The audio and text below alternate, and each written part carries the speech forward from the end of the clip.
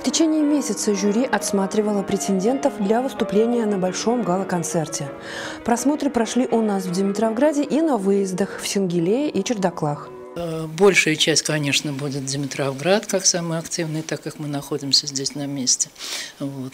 И в том числе районы, правда, не все муниципальные образования, которые относятся к епархии. Значит, из них приняли участие Чердаклинский район, Сангелеевский район, Новомолоклинский район и Меликесский район. Это были и творческие коллективы, и солисты, и те, кто занимается пением или играет на любом инструменте, или хорошо читает стихи. Смотрели, э, чтобы отвечала тематике заявленной, то есть поэзия была духовная, значит, э, песни, э, вокальные произведения, инструментальные, то же самое.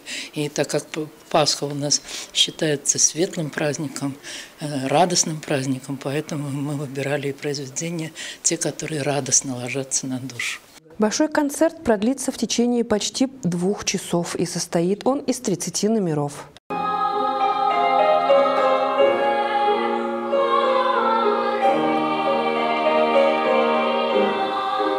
Организаторы фестиваля духовной музыки и поэзии приглашают на гала-концерт всех димитровградцев 5 мая. Сюда, в НКЦ имени Славского. Начало в 14 часов. Марина Антуганова, Анжелика Барвинок. Наше время.